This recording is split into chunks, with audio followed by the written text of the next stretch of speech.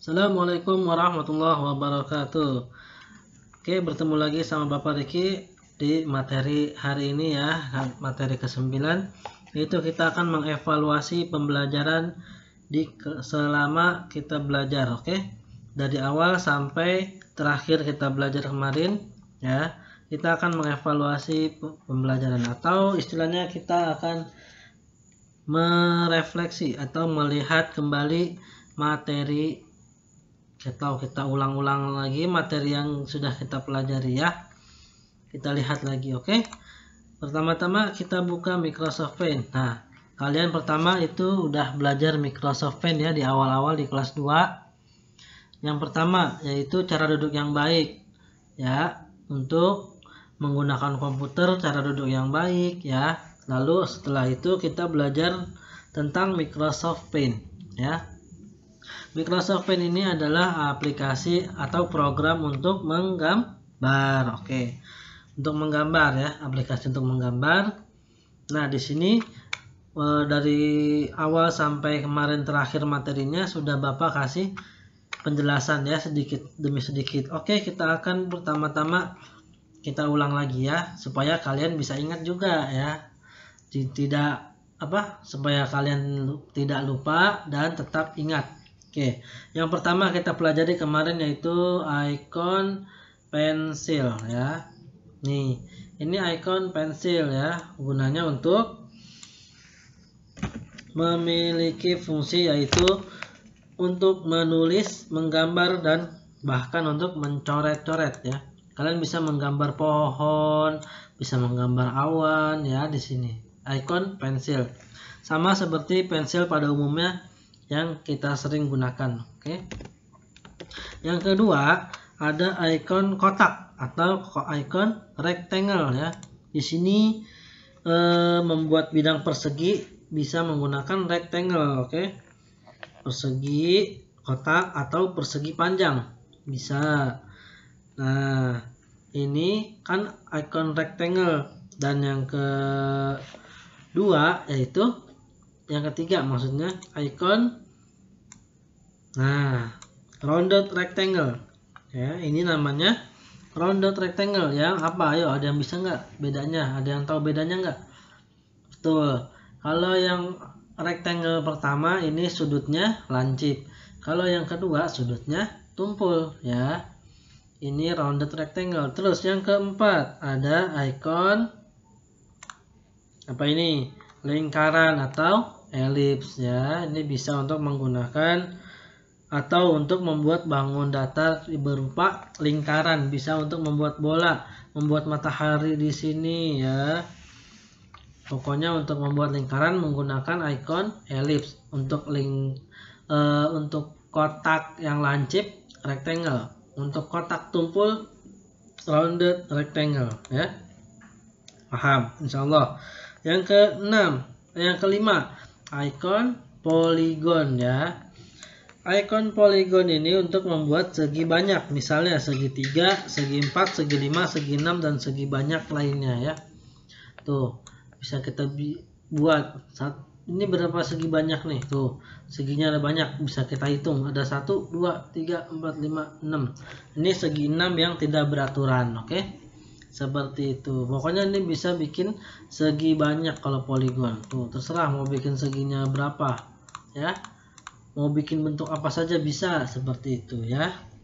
Lalu yang keenam ini kita belajar tentang icon pewarna. Di sini ada icon cat tumpah ya fill with color ya atau ember cat tumpah ini ya.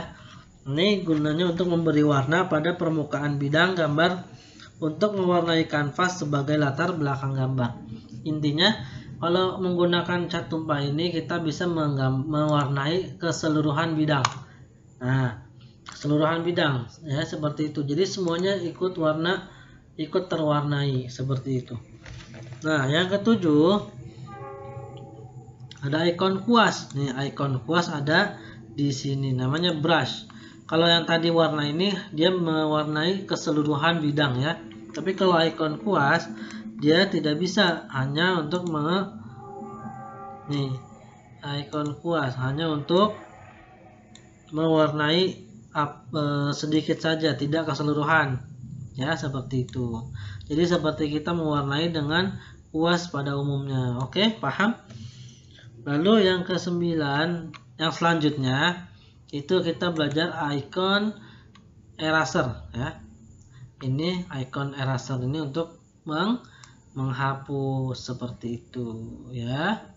Lalu yang selanjutnya ada icon magnifier apa itu magnifier kaca pembesar ya. Kita ingin melihat lebih dekat lagi nih. Ini kalau di sini kan tadi ada yang belum kehapus. Kita ingin mencoba mendekatkan supaya kita gampang menghapusnya. Kita klik. Nah kita ganti icon ini baru kita hapus seperti itu. Paham ya? Jadi sangat mudah. Ya ini icon magnifier untuk meng memperbesar seperti itu ya. Lalu selanjutnya kita juga kita juga sudah mempelajari tentang gambar menggunakan garis ya ini namanya icon line. Icon line ini yang baru kemarin kita pelajari. Icon line ini untuk membuat garis lurus ya. Garis lurus. Nah oke okay, kita ganti luarnya set. Garis lurus seperti itu ya. Ini namanya icon line. Lalu yang ke, selanjutnya lagi yang sudah kita pelajari adalah icon curve ya. Ini icon e, garis lengkung. Awalnya kalau kita membuat dia akan membuat garis lurus. Tapi kita klik lagi tengahnya dari sini tengah nah dia akan melengkung seperti itu. Ya. Lalu ini ketebalan garisnya juga bisa kita atur nih. Maaf kita ganti dulu ini. Hmm, ini tebalnya seperti ini. Bisa kita ubah lagi menjadi lebih tebal atau lebih tipis seperti itu ya. Tapi normalnya itu ber yang ke tingkat 3 1 2 3 4 oke? 4 lebih tebal 3 tebal 2 lebih 2 tipis 1 lebih tipis. Oke seperti itu ya.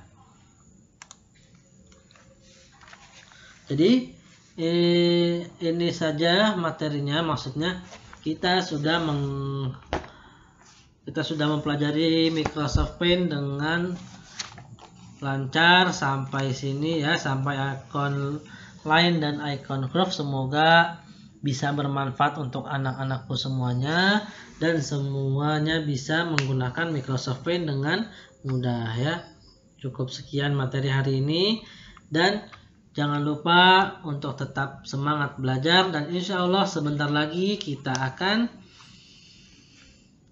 kita akan uh, insya Allah kita akan lanjut bersekolah di sekolah tidak di rumah lagi Alhamdulillah oke okay? Tetap, tetap berdoa untuk supaya bisa terus sekolah di sekolah ya mohon sama Allah supaya sekolahnya cepat di di sekolah biar nggak di rumah terus sekolahnya ya Oke cukup sekian. Assalamualaikum warahmatullahi wabarakatuh.